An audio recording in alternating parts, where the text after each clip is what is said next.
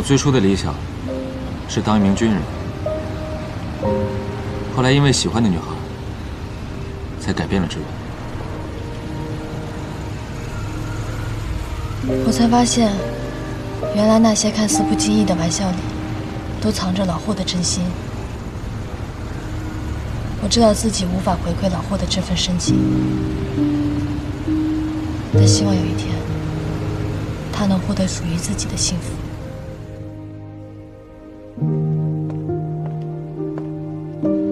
老霍，你怎么来了？有些话我想当面和你说清楚。对不起啊，昨晚是我太该说对不起的是我，对不起，一直没有察觉到你的感情，还心安理得接受你的照顾。对不起，让你一直孤独的站在我的身后，却没有回头看看你的真心。我不需要你的对不起。让我说完吧。来的路上，我一直在想，我能为你做什么？我应该为你做什么？想了很久，我终于想明白了，那就是为了你，我不能做的事情。我不能在明知道你的感情的情况下，还继续接受你的好。我也不可以自私的把你留在我的身边。你别再说了。老霍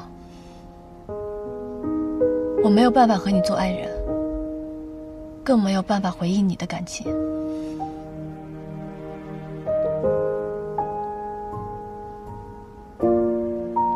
所以在你理清楚感情之前，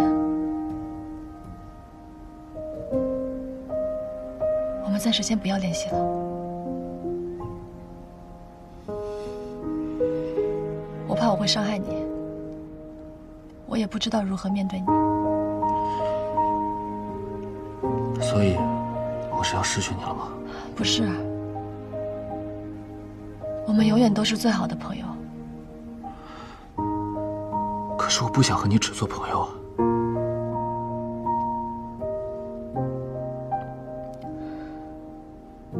作为朋友，我唯一能做的，就是等你走出来，这样对你对我都好。徐兰。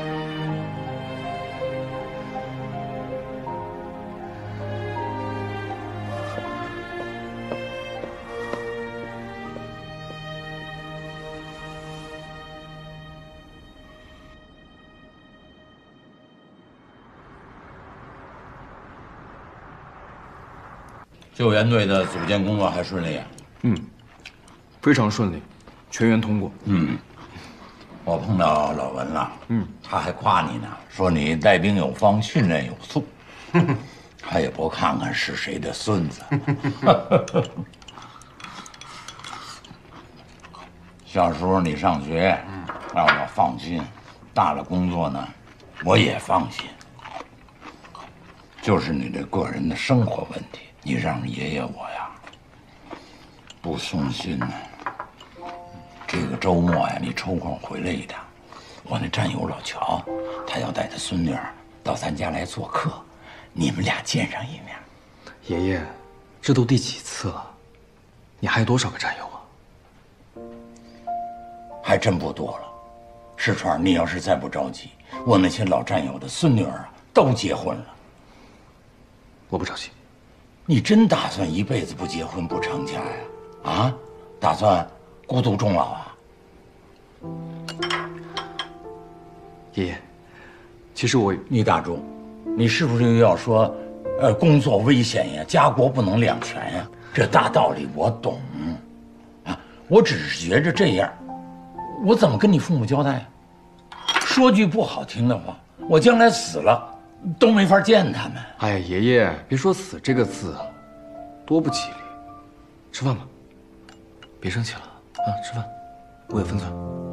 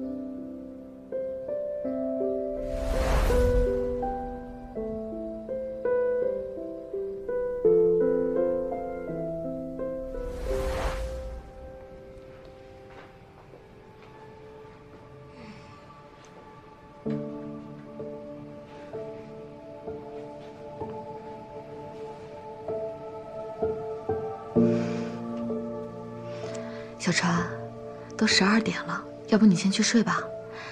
等爸爸回来，明天我们吃蛋糕好不好？不，我一定要等我爸回来一起吹蜡烛。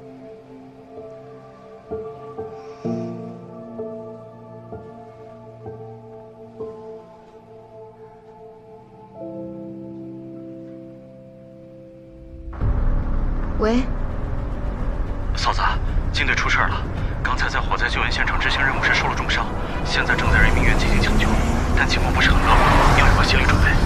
我马上过来。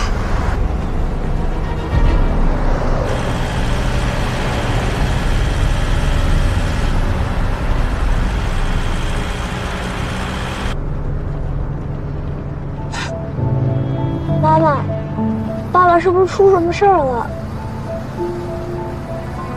妈妈，爸爸在哪？他到底怎么了？